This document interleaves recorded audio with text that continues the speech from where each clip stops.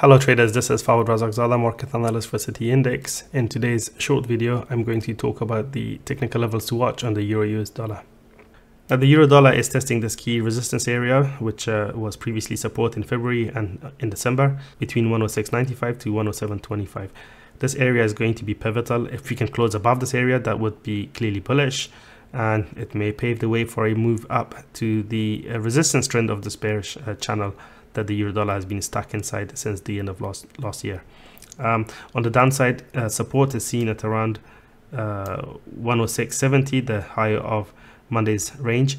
Uh, if we go below that, then that would put the uh, bulls in a spot of bother, uh, which could then pave the way for a fresh breakdown to a new uh, 2024 low below 106, which was last week's low.